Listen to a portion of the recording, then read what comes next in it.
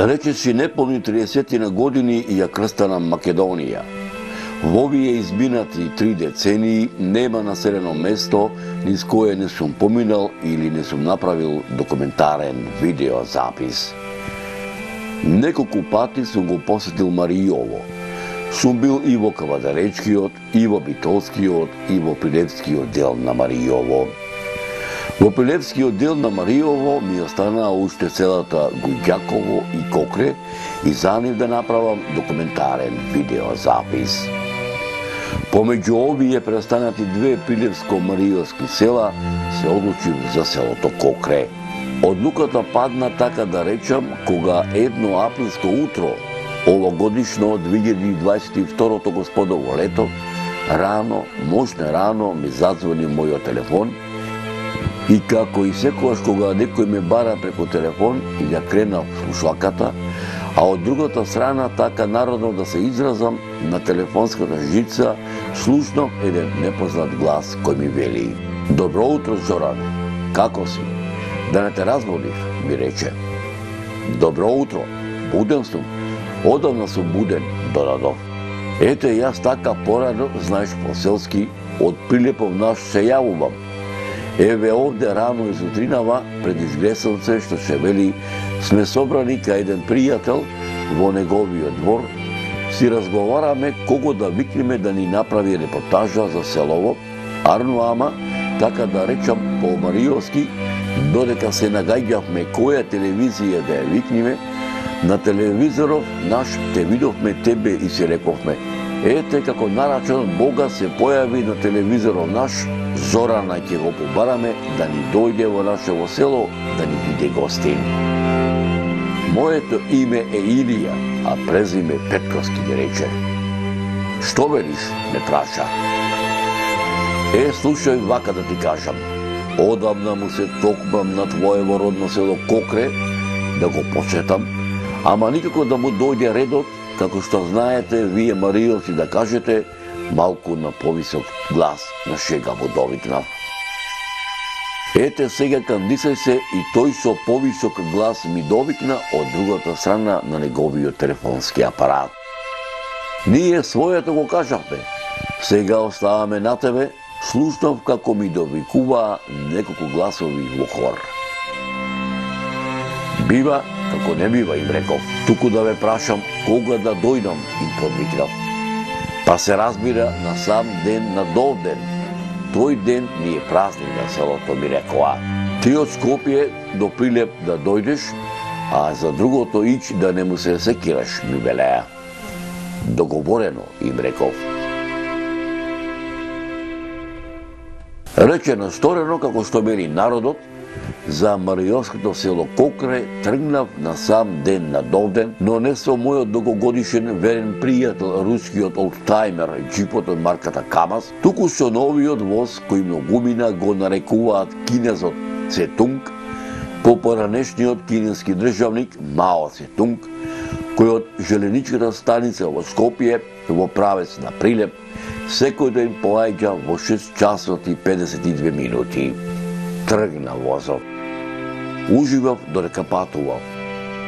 си не забележав кога така брзо, за неполни два часа, возот со кој јас патував, помина низ Таораската клисура, движејќи се паралелно низводно со реката Вардар, навлегувајќи во живописниот предел на Азот, низ колоритната убавина која со векови ја создаваат долината на реката Бабуна и планичките горостаси Мокра планина со солуничка глава, Мочур и Бабуна, застанувајќи за кратко во многу вековното село Богомила, накачувајќи се под падините на Орешка Чука, неуморно пробивајќи се низ така да речем штрмната желеничка делница од десетини километри се до Богомилскиот тунел, поменувајќи ја неговата 4 километарска должина за неполни две минути, навлегувајќи во Прилепскиот дел на Пелагонија и точно според возниот ред во железничката станица Прилеп пристигна во 9 часот и 35 минути, каде што ме чекаше со неговото возило мојот домаќин Илија Петковски, заедно со неколкумина негови соселани од селото Кокре, И откако се историвме живо, тргнавме во правец на Прилепскиот дел на Мариово, по 50 километарскиот асфалтиран пат кон Витолиште, навлегувајќи во на Прилепското село Штавица, накачувајќи во живописниот македонски планински горостос Селечка планина, поминувајќи ги планинските превои Слива, Писоквал, Липовдол, навлегувајќи во на селото Кален, пробивајќи се по калдромисаниот 6 километарски пат, кој кривулесто се извиваше по долината на Кокречка река, стасавме село. Почитувани мои, да бидам искрен и пред себе, а и пред вас, од гледката што ја видов, од хоризонтот што ме обкружуваше, не можев да се значудам. Прекрасна колоритна убавина, вистинска питомина, вистинска дивина, недопрена природа. Човек да се наслади од тоа што го создала природата, но и да тагува од она што денеска останало од некогашното село. Сето е камен на камен, а каменот обраснат од трња и капини. Сето зарасното и каменот не можеш да го забележиш. Единствено нешто што останало да говори за некогашното село Кокре е многовековниот христијански православен храм Свети Акангел Михаил.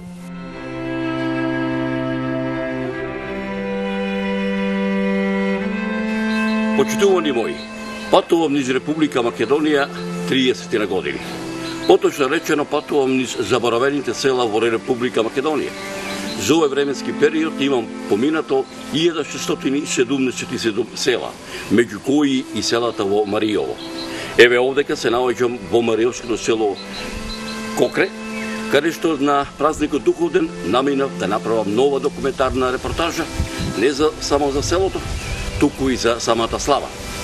И ќе напоменам дека ова село поред ми е 1678 села. Повелете со окото на камерата, ќе се обидам да ви додолам, вам, драги мои, и вие да проследите, да ја проследите оваа репортажа за Мариотското село, селото Кокре. Почитувани мои, додека се обидувам да ги пронајдам некогашите селски патчиња и сокачиња, селското средсело, да ги пронајдам остатоците од некогашните кујки, плев, трла, селските дворови, селските авли, но и пред да ја видите приказната за празнувањето на нивниот патрон и заштитник на селото, летната селска слава Довден, која речиси 20 години се слави во Кокречкиот соборен храм Свети Архангел Михаил, ќе се обидам да ви пренесам дел од непорекливата драгоцена слика за селото Кокре низ времето, надополнета да со веродостојни сведоштва и историски аргументи за ова село, кои се состојат од митови, легенди, устни преданија, материјални артефакти и пишени документи, со надеж дека меѓу помладите пораѓање или по потекло од ова село, особено меѓу оние коупатени во областите на историјата и антропогеографијата, ќе се изнајат и љубопитници и ентузијасти кои за голем број прашања изнесени, делумно патени или недопрени овде, ќе вложат и љубов и труд и знаење за да ги доистражат и изнесат на виделина, спасувајќи ги од неправедната правна заборавот.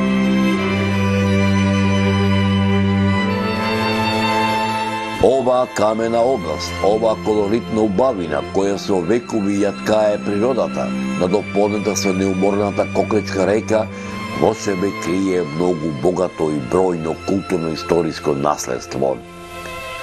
Кокречкиот атар е дел од Мариово, дел од красното на пелагонците, едно од 17 македонски племиња, нераскинлив дел од македонската древна кралска династија на Аргиадите, дел на Римската империја, Јустонијавата династија која со Византија владеела 74 години, нераскинлив дел од Аморијанската македонска царска династија која владеела 189 години со Византија, династијата на Комнените, средновековната македонска држава, позната како Склавинија, предводена од кнезот Пребон, и кнезот Хадсон, македонската држава предводена од царот Самојл, царот Иван Владислав и царот Гаврило Радомир, Петар Делјан, Ѓорѓи Војтех, цар Душан, македонските кралства и деспотства предводени од кралот Димитрија Волкашин, неговиот син кралот Марко, деспотот Јован Углеша, деспотот Ѓурајк Бранковиќ, неговата ќерка Ирина Комнен, позната како Мара Султанија, дел од парчето земја кое со милениуми се нарекува Македонија, а народот кој со векови живее овде, македонски. Прв пат селото Кокре во пишаните и материјалните документи и артефакти во вистинска смисла на зборот се споменува во мноштвото црковни повелби житија кои датираат од првата деценија на 10 век и црковните записи кои датираат од византискиот период, поточно речено по 1020 година за време на владеењето на византискиот император Василий II во црковната грамота на царот Константин Асентик од 1257 година, во грамотата на византиските императори Михаил IX Палеолог и Андроник II Палеолог од 1299 година, во која е запишено дека селото Кокре припаѓа како имот на македонскиот христијански православен духовен благодетен многовековен бисер манастир Свети Никола, меѓународот попознат како Мариовскиот манастир, во црковните повелби од 1321 година на кралот Стефан Урош II Милути Немањич, а посебно во црковната повелба на царот Стефан Душан од 1332 година, во црковните повелби на крал Стефан Урош V Немањич од 1356 година, во черковните повелби и од македонскиот властелин, кралот Димитрија Волкашин, од 1365 година, како и во черковните повелби од македонскиот властелин, кралот Марко од 1371 година. Јас сум Мило Петковски, роден сум 57 година, роден сум во село Кокре. Имам завршено основно училиште во село Кокре овдека, од кој после 70-та година сме иселени во селце. Во тие последни од 70 до 2022 година јас цело време го посетувам селото Кука. На рачене на значи, Дуовден, иначе имам и на Дуовден морам да дојдам. Во црковниот одбор сум веќе скоро 20 години, кусуро не знам колку, од кога. Имаме да правено доста организации низ селово овдека и за пато и за други работи што можеме по намалку да ги без многу пари, без средства да ги поправиме ние имаме идено. А иначе селото Кокре во моје знаење имаше околу 48 куќи. Кои се најстари фамилии во Најстари фамилии се Дебровци и Мајсторовци. Дебровци се биле населени од Дебар. А Мајсторовци биле населени од некои мајстори од грчките села, така не се грчките села, тие се дојде како мајстори ковачи. Така е селото поделено на две мала Дебровско и на Мајсторовско. колку кој му се сосени села на селото Кокре? На селото Кукрово се соседни села, село Пештани, Кален и другите ваму Придепец, стави се тие веќе се далече села, не спаѓа Мариовски, тие, ако ги вика Мариовски, не се Мариовски. Од што луѓето порано живее овде? Што се овде? Луѓето најповеќе се живееше од стока, се се пасе овци, говеда, имаше многу говеда. Јас во моје знаење имам говеда пасено 68 селските говеда 68 години ги пасене 815 грле пасене говеда во Кукра. Од кои 7.500 овци имаше. Шест бачила имаше во Кукра. Се живееше од стока, да, и се сееше и така земјоделско земјоделие. Друго немаше некои фабрики или нешто друго да се наделува. Ова да ми кажеш, според твоите сознание, кога прв се, се споменува селото Кокре во ние пишени документи? Дали овој во, во да речеме во ние отомански? Или Јас во некој книги ја страдам дека нека 1514 или 1517 година спомнува Кокре, Кокр се спомнува, а тоа е скратено со некој јазици, дали турски, мурски, не ги знам кои се. Се споменува од тогаш Кокре во некои пишани документи, а покажување како легенда не знам, па, па пред римското се постоело Кокре. пошто овде пошто овде на на на на на, на црковната порта, Да, ти навеза се кралова порта ги имаме двата камени, тие се од изваени меѓу Кокре и Кале, надолу лево од тато, кое постоело село во римско време и сега има таму знаци римски. Во римско време постојало таму село, римјаните имале село. И тие камења во моје знање се донесени овека каменаријата ја градена 64 година ја правена каменаријата, тога се донесени со вологи од копа, луѓе ги донесоа овде двата двата камења.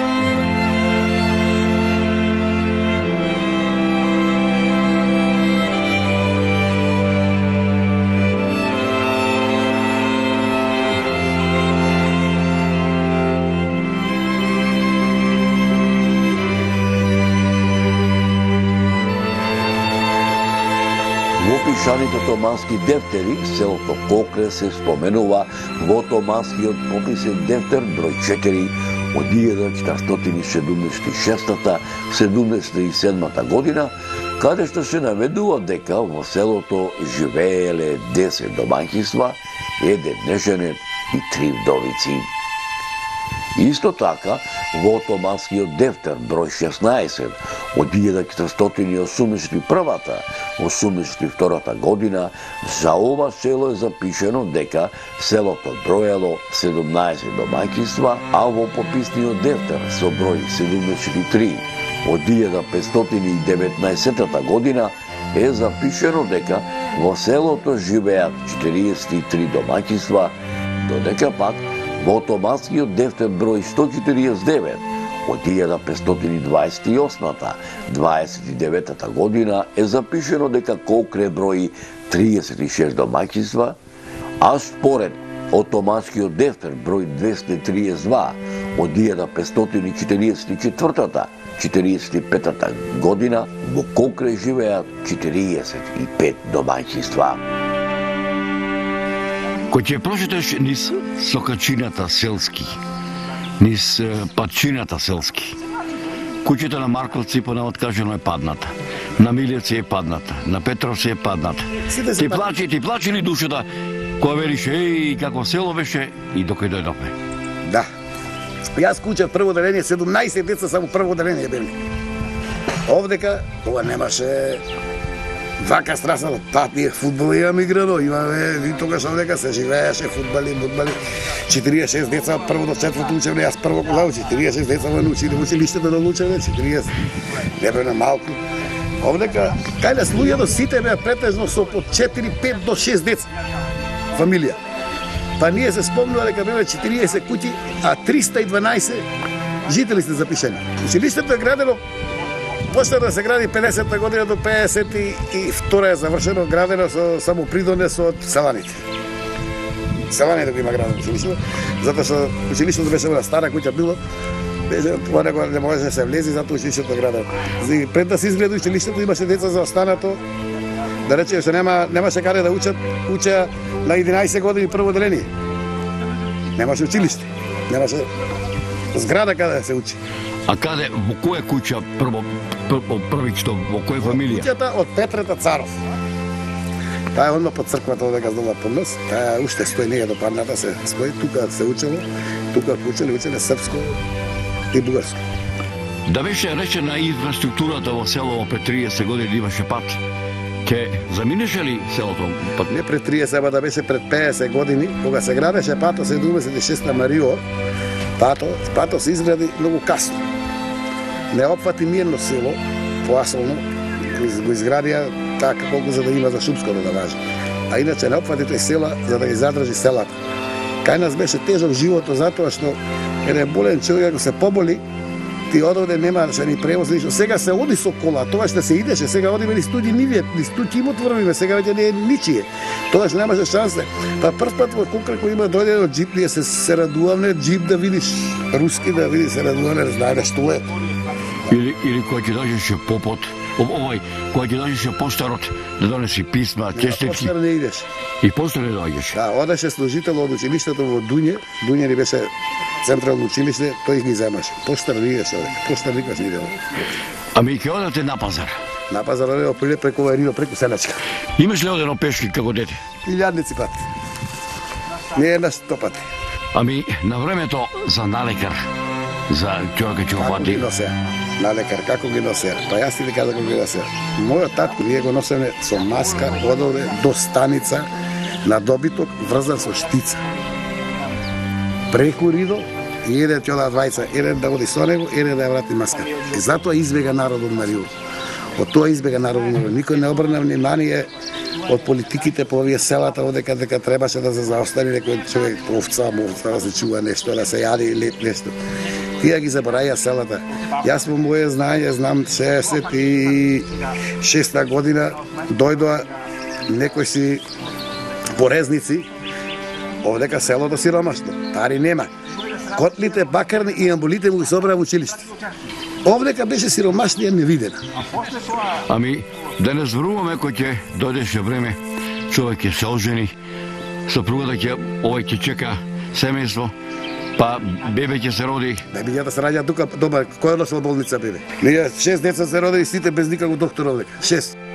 Дека селото Кокре на овие простори обстојува многу векови, говорат и пишаните документи на многу учени луѓе од периодот на првата половина на 18 век, па се до првата половина на 20 век, меѓу кои монографијата Македонија, етнографија и статистика од Васил Крнчов, каде што е запишено дека во 1900 година во ова село живеат 466 жители.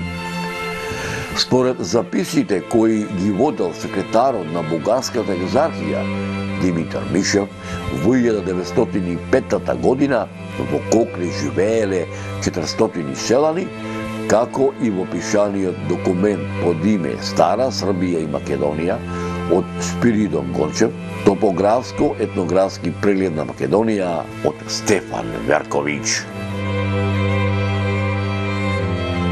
Дека селото Кокре на овие простори обстојува многу векови, говори и пишаниот документ на еден од најпознатите не само во македонски, балкански, туку и во светски размери, антрополози и географи, доктор Јован Трифуновски, селските населби во Битолско-Прилепското поле, издаден во Белград 1979 година за селото Кокре го забележал следното.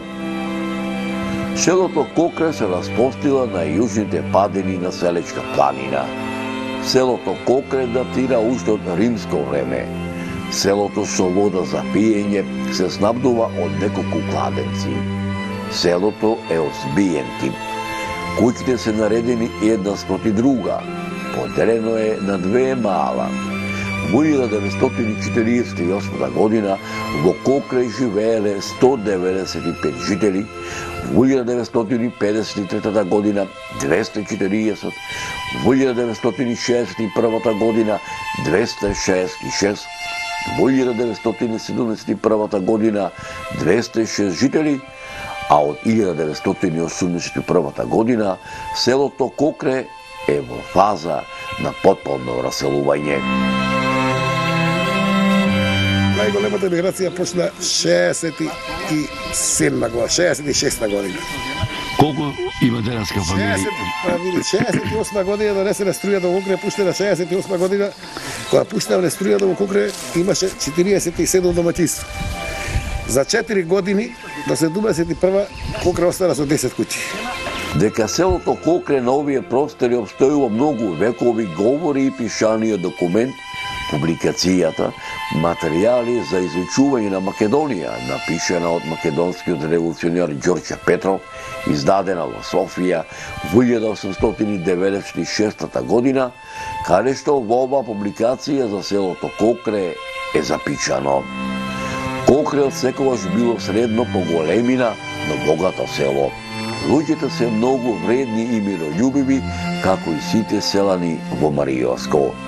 Близу до селото се наоѓа местностите Градиште, Корита, Грамаѓе, Спасица, Бекоец, Гробот, Делница, Маркова стена, кои порано биле утврдени насебли од античко време и локалитетот кој воедно представува античка некропола Свети Архангел Михаил.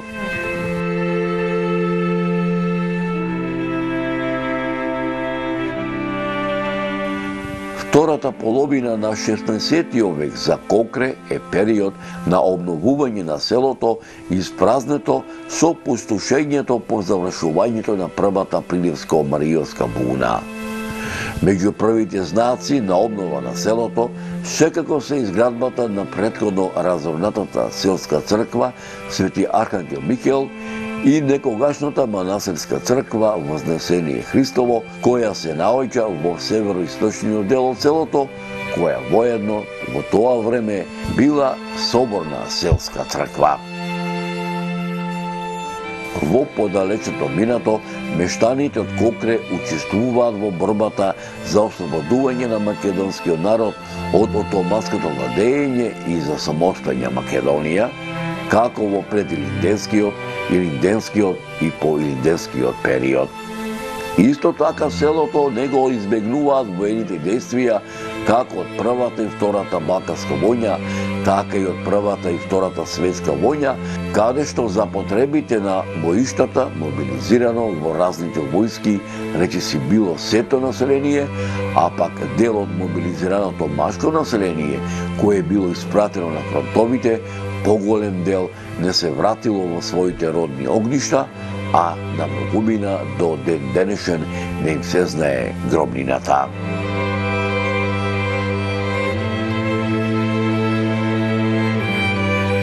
Почитувани мои, утринските сончеви зраци го милуваа селото Кокре, пред се селската црква, Свети Архангел Михел и ја навестуваа празничната атмосфера а членовите на црковниот одбор превршуваа со подготовките за утриската богослужба. Од Каленско во правец на Кокре уште рано изутрината, како бисер Гердан се зареди долга колона на разнолики возила и врвулица на народ во правец на Селската црква Свети Архангел Михаел. Црковниот двор набрзо се наполни со народ.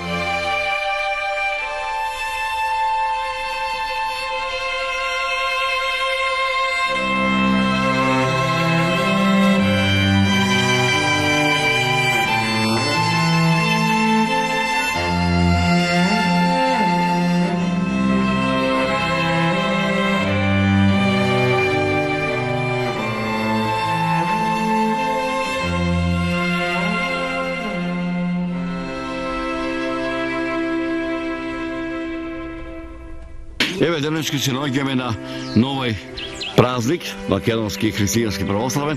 Може ли да се сетиш како беше животот во Кокре пред 50 години за Божик, за Великден, за летата слава, А ние овде за свадбите, крештепките? Имаме овде слави, свадби имаше, имаше доста, да, нарочито, ајде да кажеме за Дуоле, речеме, Дуоле денеска ни имаме овдека луѓе, имаме доста луѓе, да речеме, сега доста како ова село многу се зара, зара за луѓе, 50 луѓе, ова пусто село е многу. Да, имаше, а иначе овде имам, имаше луѓе што иде да да речеме сабајле, кој ќе се донесе в црква, во недела на Дуоле да се донесува прво ќе се донесе бардињата. Кога се дава бардиња, се никој тоа не забораја тоа. Сето пова гробоите не се да наредено бардиња со писки. Ќе се донеса бардија, ќе се вратат луѓе назад, во 10 сато сидеш овдека, ги земавне иконите, крсти викани, ги земавне, ги изнесуваме одовде, околу село одаму ќе ги завртиме и ќе ги донесеме, па ќе се измија, таму се одеше со да со многу луѓе се тргнуваше, да. Сето ова кој ќе заврши за црквата, е веќе чекаме гости. Кај нас е ден. Ова е доводи е ден на село Кокре. Веќе се чека и утре гости. Значи, беше разлогот, утре е, е празникот. Утре е Е, празникот. се напомнавте дека дека одете по крсти. Може ли вака да ми дел од тие викани места во село, како се вика да ми наброиш? Вика дека се крстите. Да. Па имаше, не знам како те врта, вртево во вика. Не, манастир имаме ода во исто манастир Свети Спас. Манастирот Свети Спас е правен сега, нов манастирот е правен во мисло 62 година прави манастир. 62 е манастир како манастир ќе почне да се прави. Тука 68 па се градеш. Се заврта околу село ни жито, тогаш имаше жито, ни житото врвавне. Да, со крсти, со поп, со други работи, сето се, да, се пеа песни, по крстите некои молитвени песни, да, имаше крстимо се Бога, му, таму. Почитувани мои, пред да ви пренесам поголем дел од довденското празнување во ова село, ќе се обидам да ви пренесам дел од моите досегашни историографски сознанија за многовековната црква Свети Архангел Михаел, со кои располагам копајќи во изминативе неколку години низ историографските архиви во продолжение на оваа репортажа.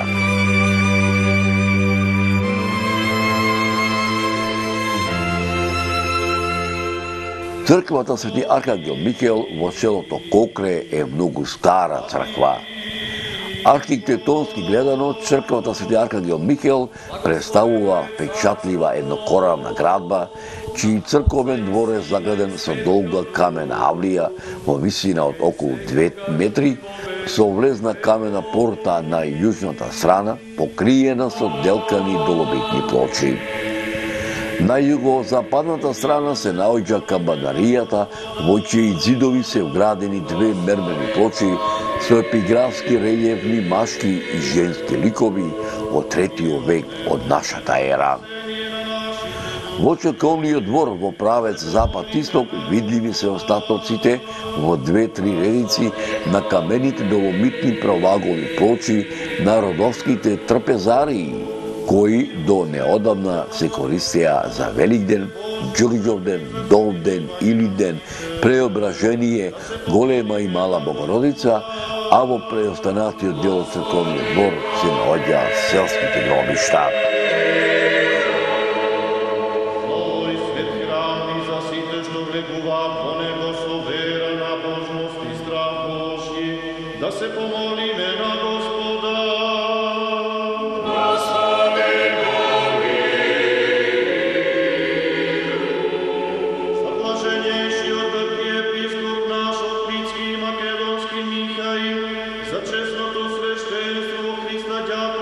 Црквата е реобновена во 1866 година, а за тоа сведочи Титорскиот запис кој се наоѓа на западната ниша, а зоографисана е во 1884 година од страна на познатата тајфа зоографи од селото Гари, од семејството Андонови, поточно од браќата Димитар Андонов и Георги Андонов, што се гледа и од самиот надпис кој се наоѓа од десната страна на јужниот зид.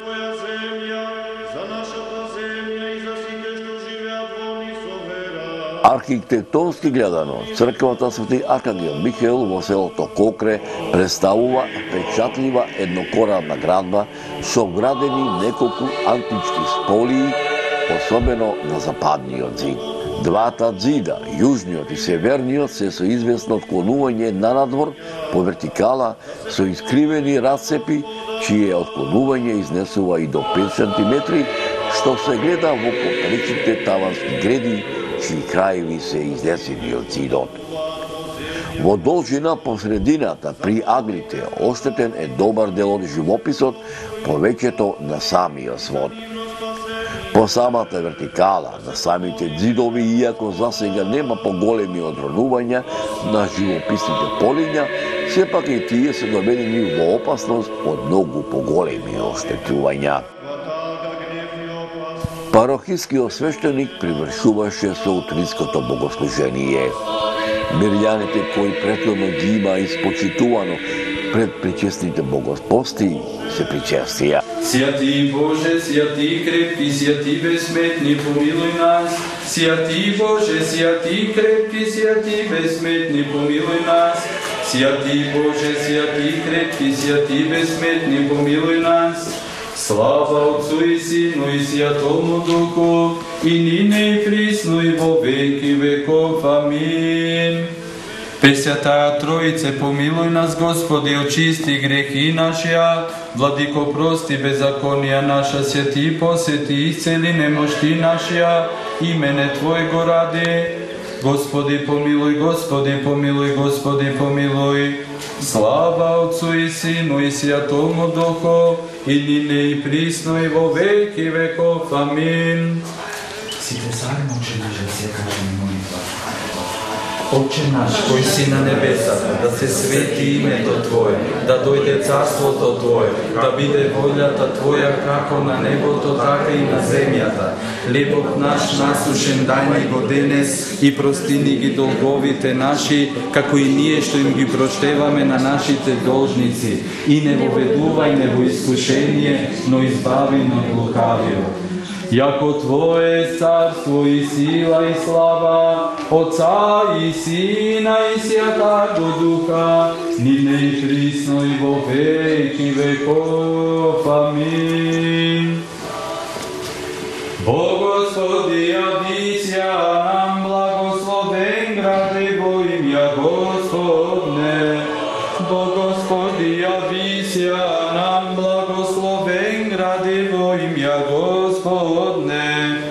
Bo gospodi, adisja nam blagosloven gradivo imja gospodne.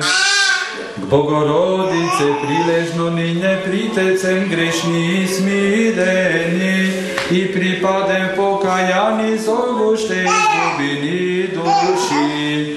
Vladičice, pomozi nam i milosrdno babši, počici, a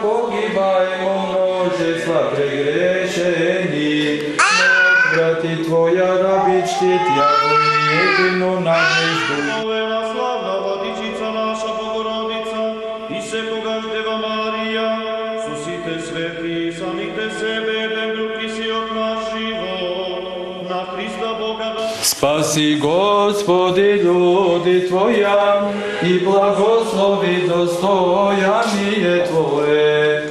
Победи всем православним христијаном Да опротивнија дарујај и Твое сокрајнајај крестом Твоим жителство. Спаси Господи люди Твоја и благослови достојание Твое. Победи всем православним христијаном нашим, нас опротивнија дарујај и Твое сохрајнајај крестом Твоим жителство. Спаси Господи люди Твоја и благослови достојание Твое. Победи се православним христијаном нашим, на сопротивнија дарујај и Твое сокрајај крестом Твоим жителство.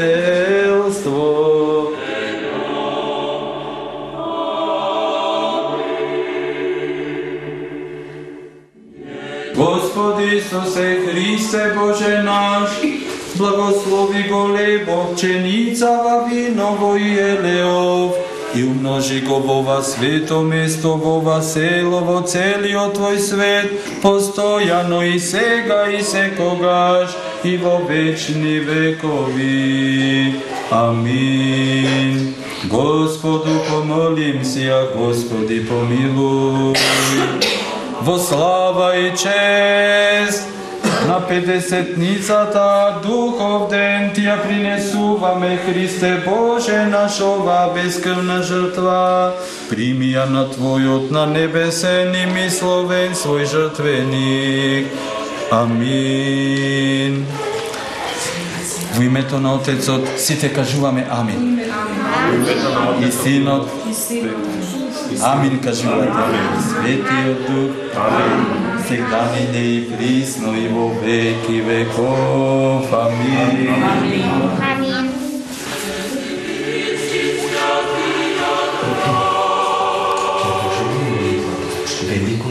Света Троице, Пресвета Богородице, помагај ми. Ајде кажи ми. Ајде, понево велико име. Света Троице, Света Тројца, Пресвета Богородице, Богородица, помагај ми. Помагај- Помагај.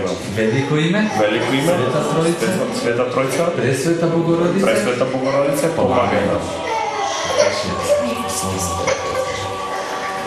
За многу години. За многу години. Да имаме за година домајчин.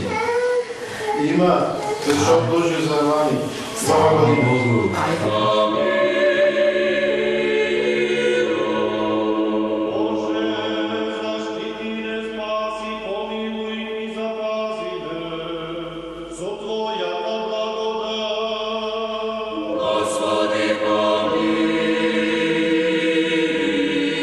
Во на време се искачи Исус во Јерусалим, а во Јерусалим при овчата порта се наоѓаше бајна по еврејски наречена витезда која имаше пет тремови. Во неа лежеа мнозина болни, слепи, хроми, суви и сакати, кои чекаат да се развижи водата.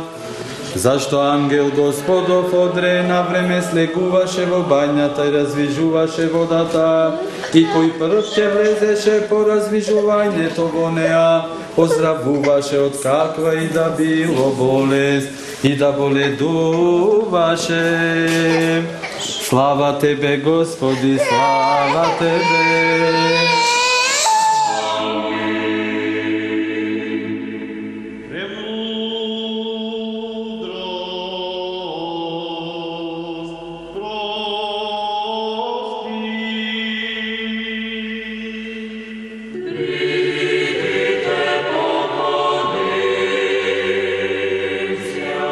Почитувани браќа и сестри, вознесението Господово, како едно тајните на домостројот Божи, за спасение на човекот, го надминува шетилниот опит и не се ограничува само на собитието на христијанското издигнување на небото.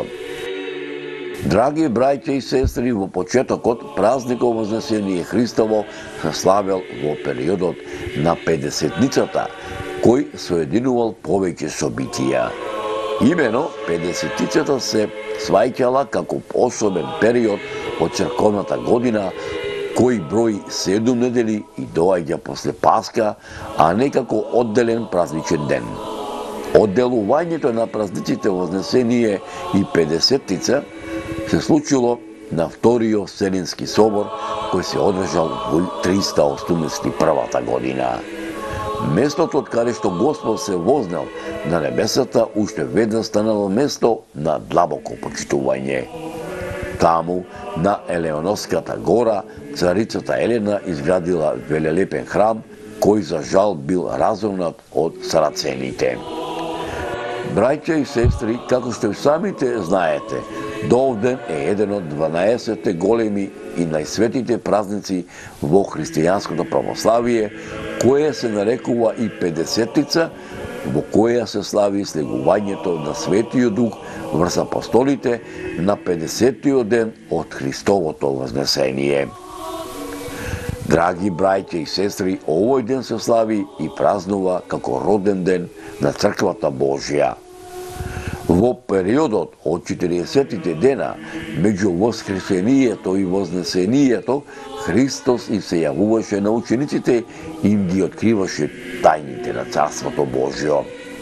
Господ им, им заповеда да не излегуваат од Ерусалим додека не им го исполни ветувањето дека ќе им испрати друг утешител, односно додека не слегне светиот дух врз нив и ги облече со сила од озгора, пошто би можеле да го проповедаат Евангелието во целиот свет. Тоа ќе се случи по 10 дена за време на старозаветниот празник, браќа и сестри, зошто токму 40 дена требало да поминат до вознесението. Бројот 40 во тоа време имаше големо значење воопшто на древниот Блиски Исток, а посебно тој број има голема значење во Библијата, кој представува символ не едно завршено дело, затоа што Господ Исус Христос, според својата човечка природа, примил три раѓања, првото е во оплотувањето на мајката Богородица, второто е крштенијето Јована и третото воскресението и затоа во трите раѓена е наречен првороден, беседеше парахискиот свештеник отецот Кире.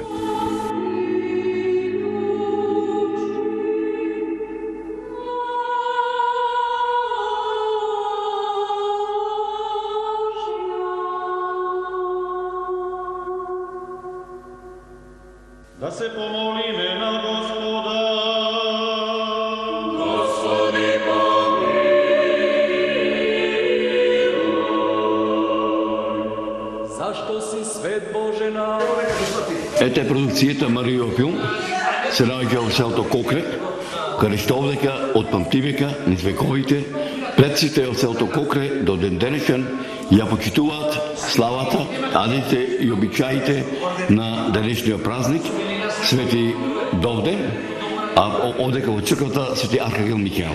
Вие сте домајчинка, ова година, по народски кажано кума, што беше мотивацијата вие ова година да видите домајчинка да ги причекате гостите овдека во селото Кокрај? Нека е за многу години денешниот ден. Главната мотивација беше во ова село кое што е долги години напуштено, да се чуе екот на младите дечина, да се собери народ и заедно сите да го прославиме овој заеднички ден, а воедно и свештено лице кое што денес даде благослов на целокупниот настан за здравје, среќа и благослов на сите селани, на сите граѓани на општина Прилеп и така натаму. Мислам, главната мотивација беше за здравје, среќа и благослов на сите жители на село Кокре. Вие сте од овде по потекло? Да, јас потекнувам од село Кокре, Од која фамилија? Фамилија Јован Ристевски, покој е мојот татко, покојна е мајката. Познати во фамилијата моите биле по тоа што имале многу лозија, во местото викало Лазеви, така се викало местото, и имале најголема бочва во селото. многу голема бочва. Кога рековте дека сте овде родени, може ли да направите, да се беседите кога бевте дете, кога селото живееше, како беше овдека во селото пред 50 години? Па лично мене, ако не ми се враќаат спомените и сеќавањата за убави моменти поминати во ова село, сигурно не би била сега во овој момент тука. А, бевме дечина кои што учевме во училиште од прво до четврто деление, сите четири класа учевме во иста училница.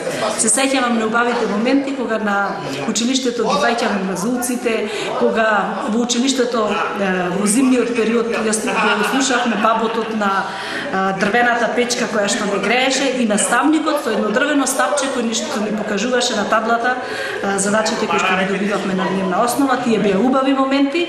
За жал во еден изминат период се случи во селото да биде затворено училиштето, граѓаните, односно жителите на ова село беа приморани да го напуштат и уште еден момент кој што го стави во забор, на заборав ова село е тоа што ова село е единственото од Мариовскиот регион кој што не е поврзано со асфалтен пат.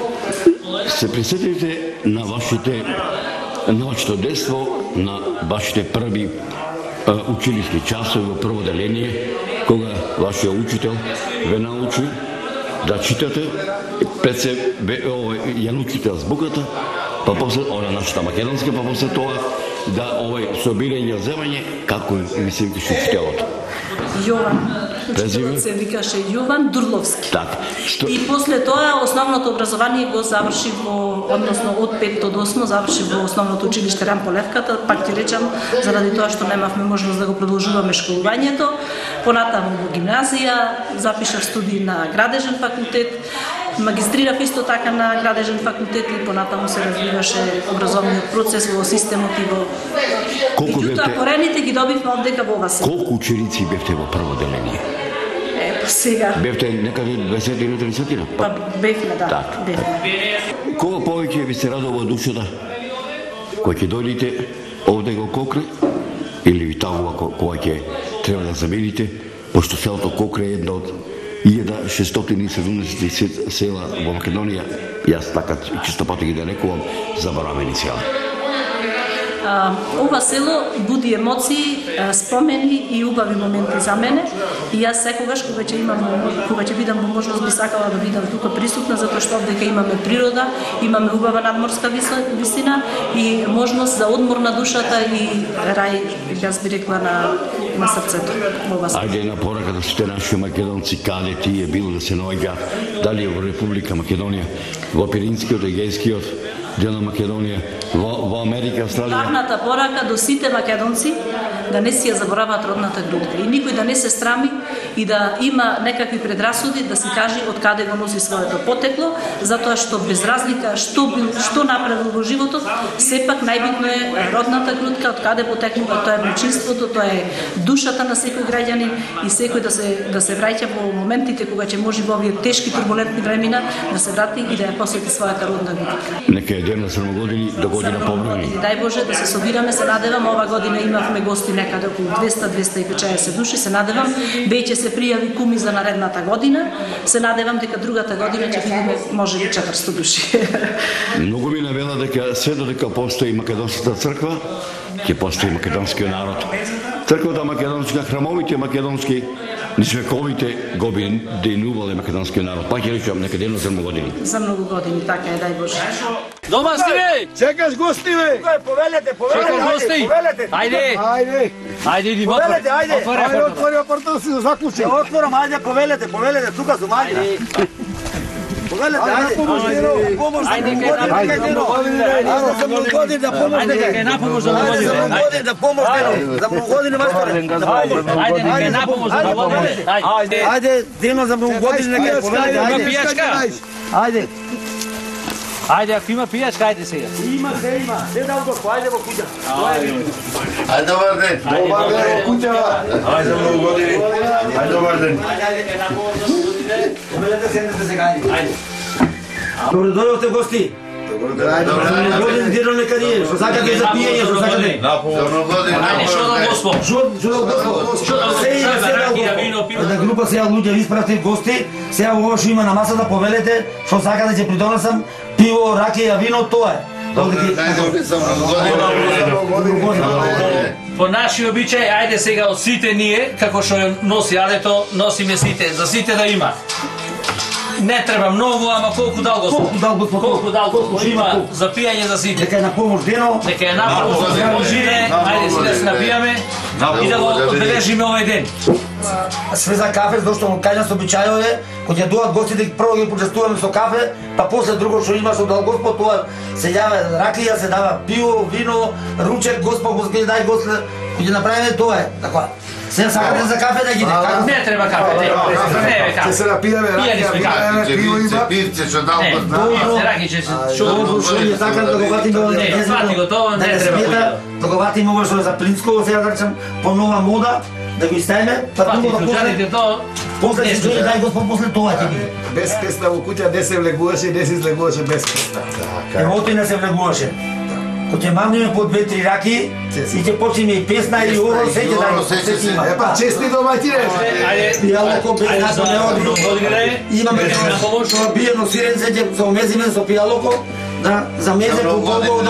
Ајде на помош. Ајде, нека работи. Тоа е дакото сега, да се. На мојот престој во селото Кокре му се ближише крајот. Го оставив соборскиот народ да си го славува довден со едно довидување, само Господ на сите нам, за здравје, да ни дава.